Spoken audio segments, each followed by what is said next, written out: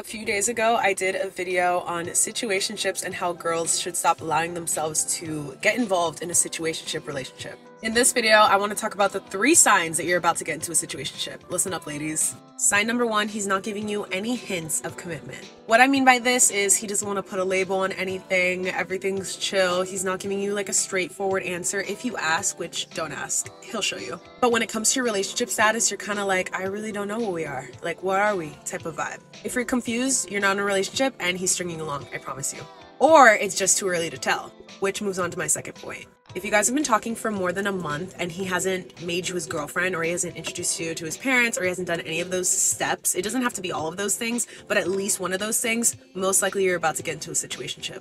Guys don't really take their time when it comes to things like that. They kind of want to like secure the bag as quick as possible. So if he's like leading you on and kind of stringing you along and he hasn't made any like relationship or like what are we moves,